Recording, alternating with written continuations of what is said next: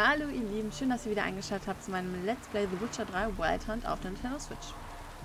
Und ja, spielen immer noch im Dock-Modus. Und ja. Wir müssen jetzt äh, mit Hacker reden. Über den Brief, den wir beim letzten Mal bekamen. Und das werden wir jetzt auch tun. Bleibt doch stehen, Pfütze. Oder bleibt doch komplett hängen. So. Und wenn ihr doch auf dem Laufenden bleiben wollt, dann lasst doch gerne ein Abo da.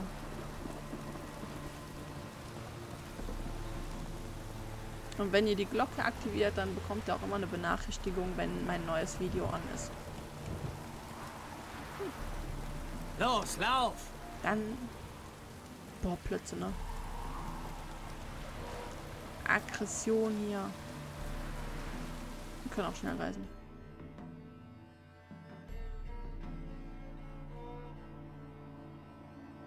Äh, da ist ein Quest, aber das ist uninteressant erstmal.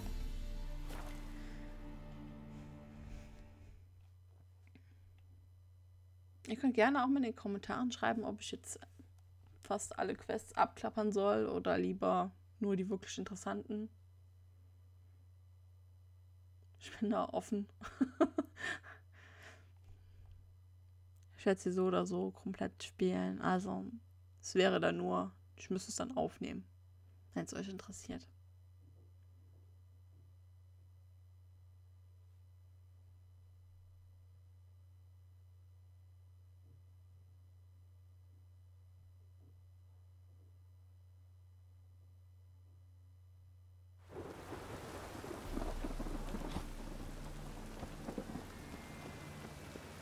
Jetzt laufen wir zu Hacker.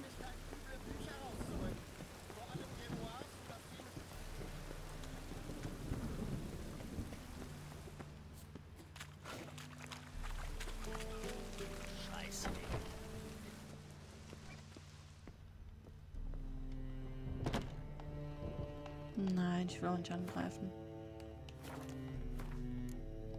Ich wollte mal speichern. Danke für die Einladung. Glückwunsch. Toller Sieg bei Wegelboots. Luke ist ein Riesenidiot, aber ich kann mich nicht erinnern, dass er je verloren hätte. Und so wie du ihn abgehängt hast, hättest du wohl gute Chancen im Palio. Könntest richtig Geld machen. Was ist das Palio? Palio? Nie gehört. Mann, bist du ein Bauer.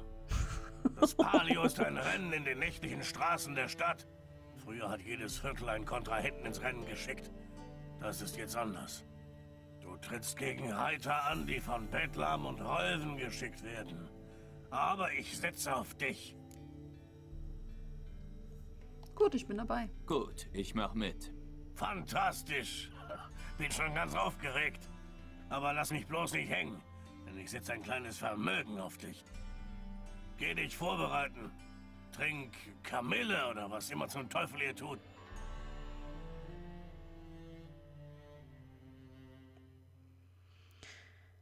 Ja, trink mal ein bisschen Kamille. Der mag auch was haben. ich habe jetzt selbst noch keine Kamille trinken sehen.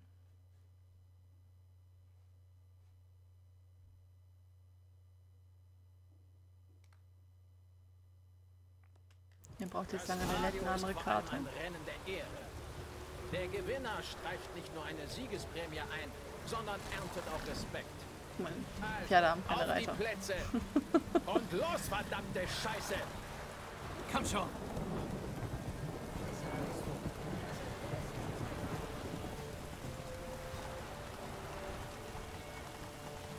Ja, aufpassen, aufpassen. Die Karte manchmal einen Hau weg.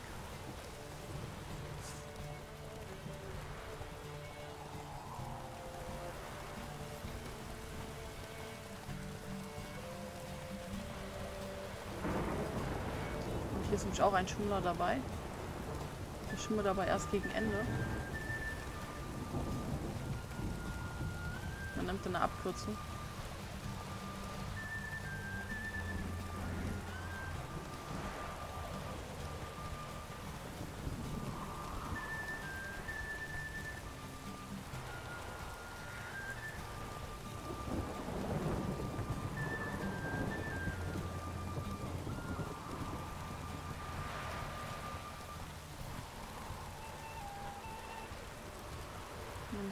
Nämlich jetzt hier ungefähr,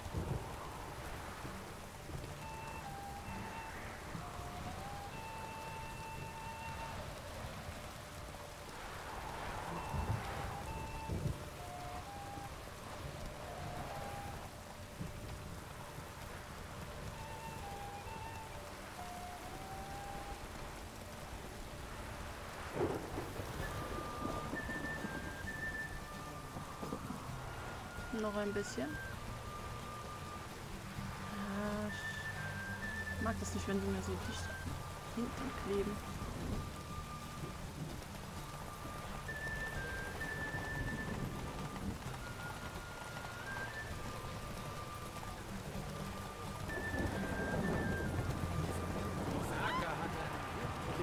Nein, nicht auf den letzten Metern. Gratulation. Auf den letzten Meter gewinnen, ne? So, das hasse ich wirklich. Gerald, küss mich. nee, Nein? danke. Dann knutsch ich deine Plötze. Das war famos. Und mein Geld? Nimm es, du Kesserbastard. Hast es verdient wie keiner vor dir. Tempelwache. Verschwinden wir. Wir müssen uns verpissen. Danke, Gerald.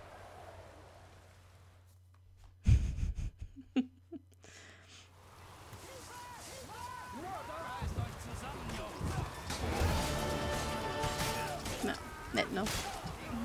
Fühlen sich hier gegenseitig Köpfe ein. Weiter so, Plätze. So, also das haben wir jetzt auch gemacht. Nicht so schnell, Plätze.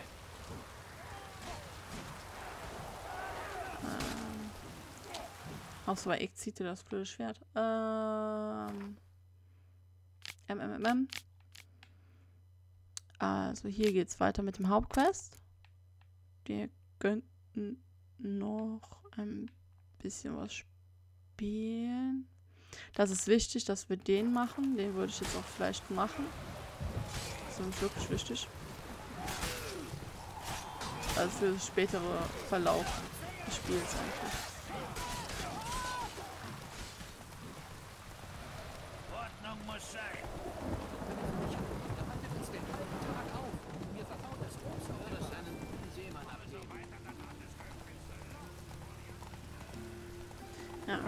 Galoppieren.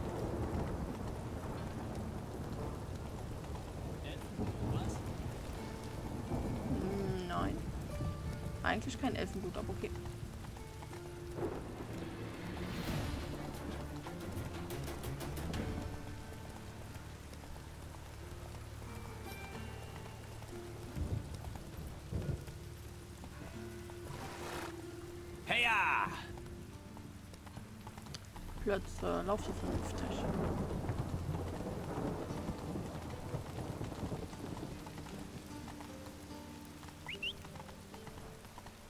Pfeifst mir gerade hinterher?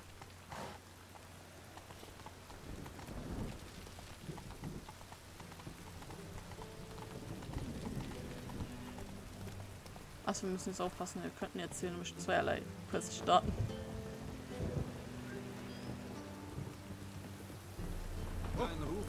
Nee. Nee, das war unten, meine ich.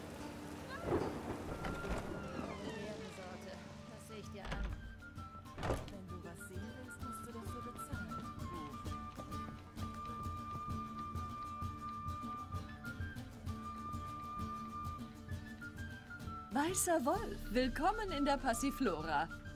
Oh, kein Zeichen des Wiedererkennens in deinen Augen. Sei gegrüßt, äh, Keine Sorge, ich habe mich seit dem letzten Mal sicher sehr verändert. und das war... Ach, vor ewigen Zeiten. Du und Meister Rittersporn seid mit zwei Halblingen aufgetaucht. Einfach zum Brüllen, die kleinen Typen. Wir erinnern uns bis heute an diesen Abend. Ach, ja, tun wir das tut mir ja? leid, ich bin hier, um... Sprich leise. Ich weiß genau, warum du hier bist. Sie warten. Bitte hier entlang.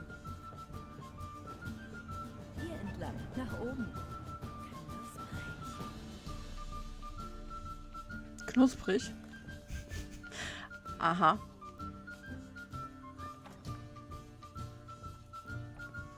Hexagiral? Da hoch. Der Boss wartet schon. Aha. Danke.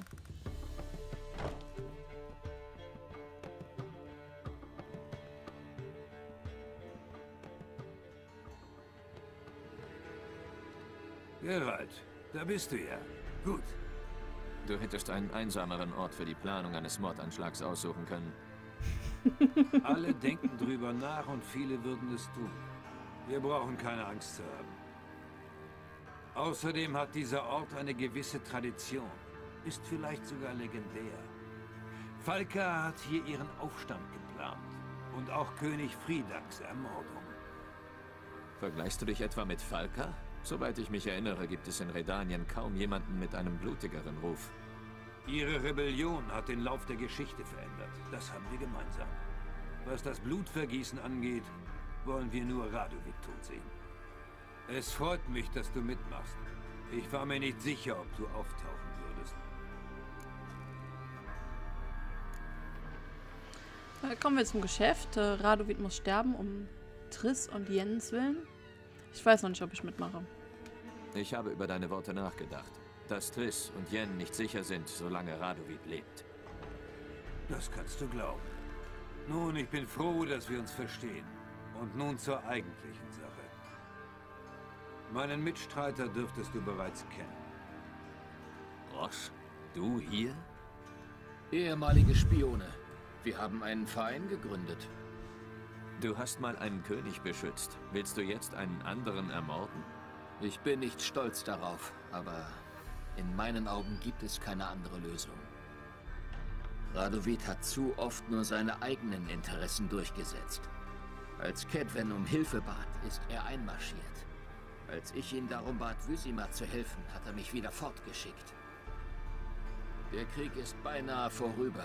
Die Entscheidung naht. Wir müssen schnell handeln. Ich mache mir nichts vor. Nur ein toter Radovid bedeutet ein freies Temerien. Wie meinst du das? Was willst du von mir?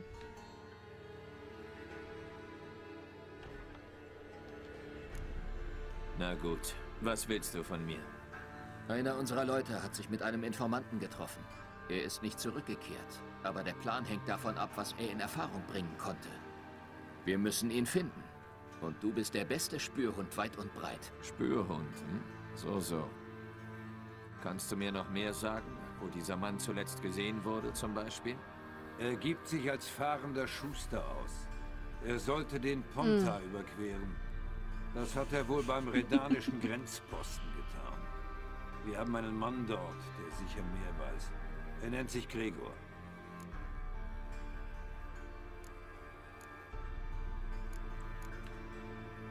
Ich finde Gut, euren Mann. Ich rede mit Gregor. Danke. Und lenk nicht zu viel Aufmerksamkeit auf dich, wenn's geht. Denk daran, äh, dieser Einsatz nein. entscheidet die Zukunft. Die Zukunft Temeriens und des Nordens. Ich weiß. Ich versuch's nicht zu vermasseln. Bis dann. Wir zählen auf dich, Gerald. Na, kein Druck, ne? Kein Druck. Hat dich jemand reinkommen sehen? Niemand außer Madame Serenity und deinem Lakai. Auf der Straße, meine ich. Niemand. Lassen dich deine Nerven im Stich. Ich bin nicht nervös. Nur vorsichtig. Solltest du auch sein. Ich weiß. Und ich bin es. Bin eine Weile durch die Straßen geschlendert Folge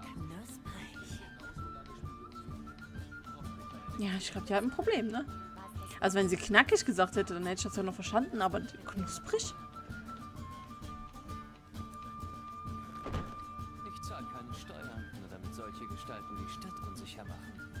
War mal so sehr blau, dass mir Blut aus den Augen kam.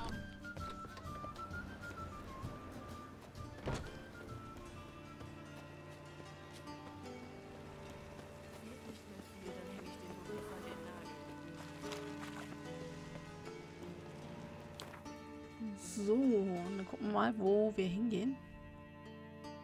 Äh, ja, am besten zu dem Grenzposten hier.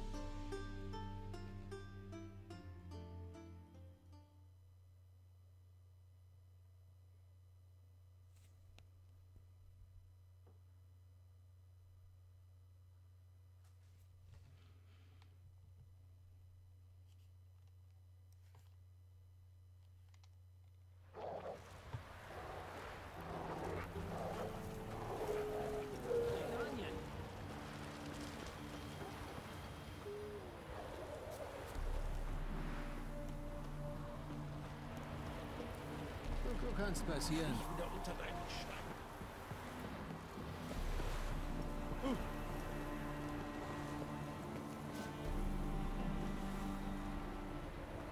So, das hier ist Gregor.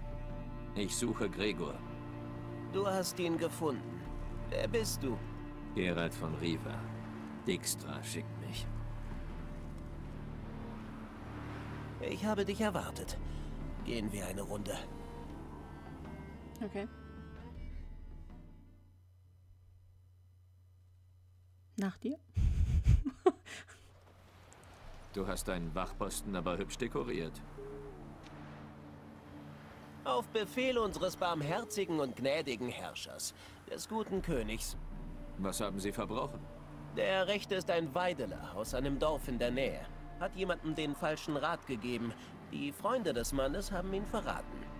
Und der Links wurde von seinem Nachbarn in dessen Groll der Hexerei bezichtigt. Nur Menschen, die sich gegenseitig an die Gurgel gehen. Nicht Radowitz Fehler. Und wer macht die Gesetze, durch die Leute für solche Verbrechen gehängt werden?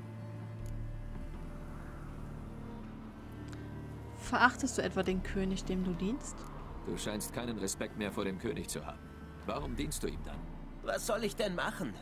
Ich bin ein Redanier. Ich desertiere doch nicht. Außerdem bin ich schon seit Visimir in der Armee. Er war ein guter König, weise und gerecht. Radovid ist anders. Er hat nur Krieg im Kopf. Und ich will nicht, dass Redanien auch so aussieht. Kommen wir zum Red Geschäft. mir. Ich nehme an, du weißt, warum ich hier bin? Es geht wohl um unseren Freund, den Schuster. Er ist auf dem Weg nach draußen hier durchgekommen, ist noch nicht wieder zurück. Gestern hat eine Patrouille einen verlassenen Karren abseits der Straße gesehen. Ich wollte nachsehen, ob es seiner ist, aber ich konnte hier nicht weg. Danke.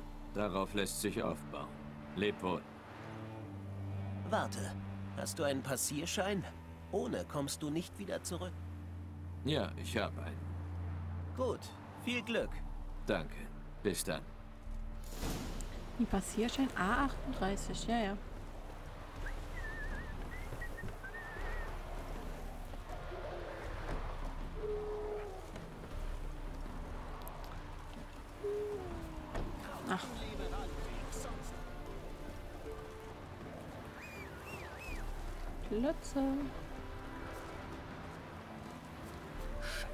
Kleine haarige Plötze. Hängst du wieder mit dem Kopf in der Wolke.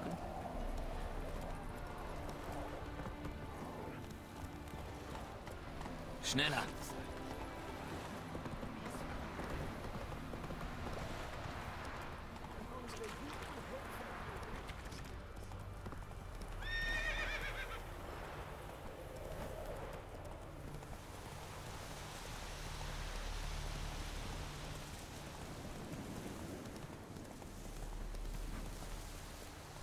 Hm, Karren sieht intakt aus. Seltsam.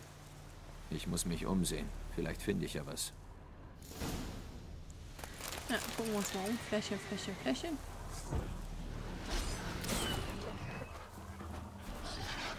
Ich sehe nichts.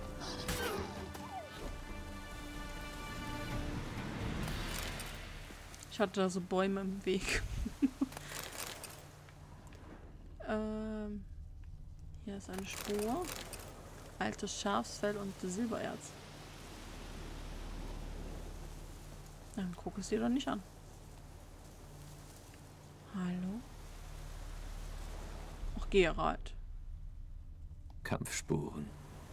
Jemand wurde niedergeschlagen und davongeschleift. Wo sein mal. Träger wohl ist? Ein Schuh verloren.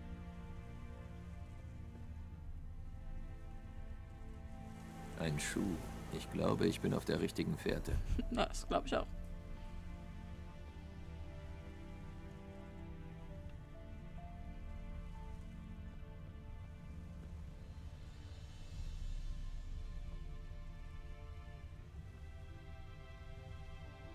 Da ist ein Schuh. Nur mehr Schuhe.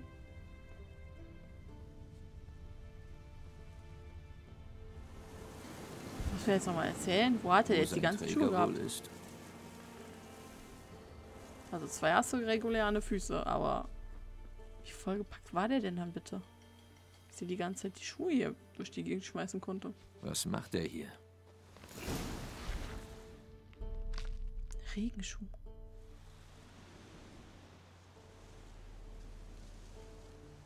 Hallo. Weg, Hexer, du. Schuhe sammeln ich. Das sehe ich. Ich frag mich nur, woher diese Schuhe stammen. Schuhe hier wachsen. Wie Pilze. Aber, aber, Schuhe sind doch keine Pilze. Die Wahrheit bitte. Schuhe wachsen nicht auf dem Boden. Weißt du, wer sie hier zurückgelassen hat? Äh, äh, Rock nicht reden. Sonst Ärger mit Ork und Pock. Ock und Pock. Sind das deine Freunde? Findergroße Ork und Pock. Menschenfinder auf Karren mit Großschuhe. So groß. Was haben sie mit diesem Menschen gemacht? Ork, Pock, Mann zur Höhle bringen. Dort. Habt ihr ihn gefressen? Nein. Och, Herr. Knochenmann, Dünnmann. Bäh. Ork sagen Mann, Schuhe machen. Für Ork, Pork und Rock Schuhe machen. Wofür braucht ein Troll Schuhe? Brauchst du überhaupt Schuhe? Schuhe an Menschen. Schuhe wollen Ork, Pork und Rock. Große Trolle sein, wie Menschen. Süß. Leb wohl. Bis dann. So. In der Nähe muss eine nächsten. Trollhöhle sein. Na, aber den hast du gegessen. Jawohl, nicht bäh.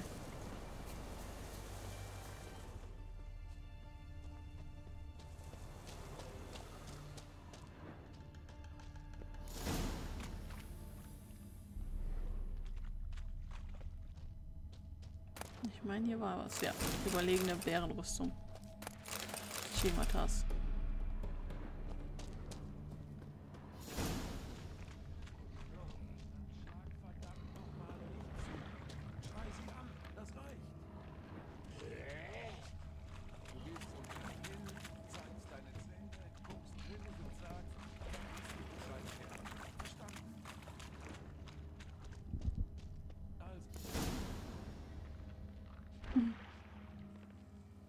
Hab ich doch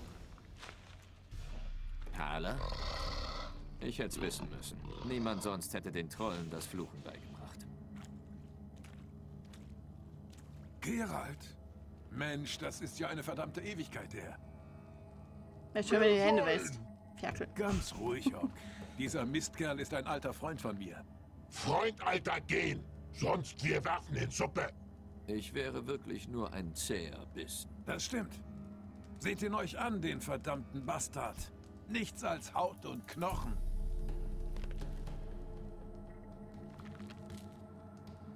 Nun, liebe Trolle, muss ich weiterreisen. Ihr äh, übt, was ich euch beigebracht habe. Nächstes Mal gibt's eine Scheißprüfung. Taler nicht gehen. Taler sitzen. Arsch runter. Taler Schwanz, Lutscher Schuhe machen. Oh nein. Oh. Ähm. Ich brauche diesen Mann, er kommt Wie mit ich mir. sehe, seid ihr Freunde geworden. Aber Thaler muss mit mir mitkommen. Verdammt. Taler nicht gehen. Taler Schuhe machen. Aber ich brauche ihn. Taler hier bleiben. Du Schuhe haben. Ock Schuhe nicht haben. Rock nicht haben. Bock nicht haben. Taler Schuhe machen. Taler los.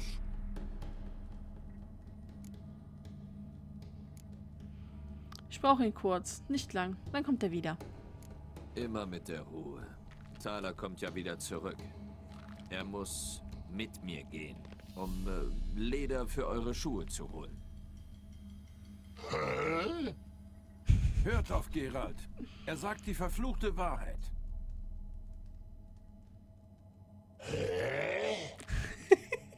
Seht euch eure Füße an. Die sind scheiß riesig. Ich brauche ein verdammtes Lederbündel, um eure Schuhe zu machen. Verstanden? Ich und Gerald, wir holen das verdammte Leder. Dann kommen wir zurück und machen eure vermaledeiten Schuhe. Schuhe Brock 4 und Rock 4? Zwei Paar für jeden von euch Arschgesichter. Hm. Taler gehen. Aber zurückkommen muss. Ich wusste, dass ihr Saftsäcke gute Kumpels seid. Bleibt hier. Bin bald wieder da. Zugeben, du kennst dich mit Trollen aus. Schon mal an Kinder gedacht? Kinder sind keine Trolle und umgekehrt. Außerdem sind Hexer steril. Du hast dich kein bisschen verändert. Immer noch beißen wie verfaulter Rhabarber. Bist du nur auf der Durchreise? Oder hat jemand dich beauftragt, mich zu suchen? Roche und Dijkstra. Ah, dann haben sie mich nicht vergessen.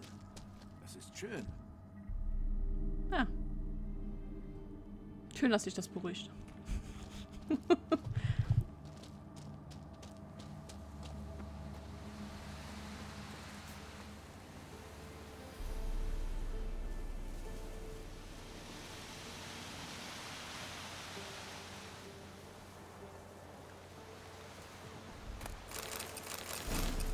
So, hier ist noch ein paar Schematas drin.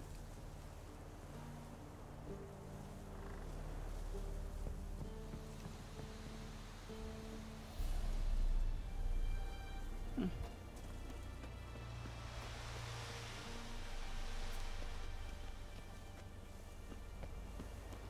Wir müssen jetzt bei dem bleiben.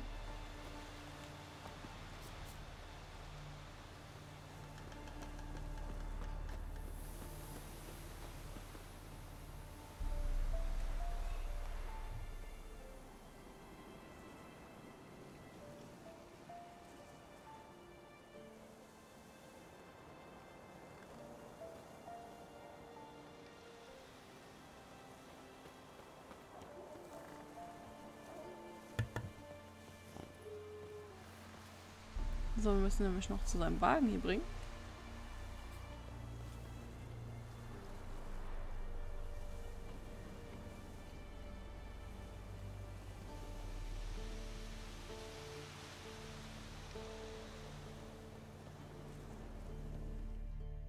Danke nochmal. Gerald. Ich komme ab jetzt alleine klar. Und ich werde Roche und Dijkstra berichten, wie du Ork und seine Freunde erledigt hast. Sie werden bestimmt so beeindruckt sein, dass sie sich in die Hosen scheißen. Diese Schustertour. Wie bist du darauf gekommen? Du warst Hehler in Wysima. Wie bist du zum Schuster geworden? Ich habe mir den unauffälligsten Beruf ausgesucht. Die Hehler-Sache, miese Tarnung. Hab zu viele Leute verärgert. Die Aufmerksamkeit konnte ich nicht brauchen. Dann wollte ich Schankwirt werden. Da trifft man viele Leute. Die meisten davon Idioten, aber die reden über alles Mögliche. Aber man hängt an einem Ort fest, wie ein alter Köter an der Kette. Immer im selben Hof. Aber ein Schuster kommt rum, ja? Davon kannst du ausgehen. Hab sogar diesen schicken, rollenden Stand gebaut. Sehr schick. Ein Volltreffer. Ich habe damit ein kleines Vermögen gemacht, seit der Krieg angefangen hat. Diese Arschlöcher in Uniform marschieren ohne Unterlass. Weißt du, was passiert, wenn sich ihre Scheißstiefel auflösen? Ihre Füße bluten und werfen Blasen. Kein Soldat, der nicht seine Mutter für ein paar bequeme Kampfstiefel verkaufen würde. Okay. Also, Und was hast du jetzt vor? wenn du? Krieg wandern wollt, Zurück nach Novigrad nehmt gehen. eure Dijkstra, Mutter Roche und ich müssen unseren Plan in die Tat umsetzen. Ich frage nochmal. Einzelheiten? Vergib mir, Kumpel. Es geht einfach nicht. Wenn es nur nach mir ginge, würde ich alles ausspucken. Du bist vertrauenswürdiger als alle, die ich sonst kenne. Aber ich handle nicht allein. Darum darf ich keine einseitigen Entscheidungen treffen. Mein Mund bleibt zu. Leider. Na gut, verstehe. Gut. Bis dann. Bis dann, Thaler. Und viel Glück. Oh, das kann ich brauchen. Radovid ist ein gewiefter Hund. Aber wir finden schon einen Weg. Bald wird der ganze scheiß Norden davon reden, wie er gefickt wurde. Passt auf, dass er nicht auch über drei Attentäter spricht, die gevierteilt wurden. Keine Angst, Gerald. Wir wissen, was wir tun. Leb wohl. So, dann würde ich sagen, das war's für heute. Und wenn es euch gefallen hat, dann lasst doch einfach einen Daumen oben da und ein Abo. Und wir hören und sehen uns in der nächsten Folge wieder. Eure Florinda.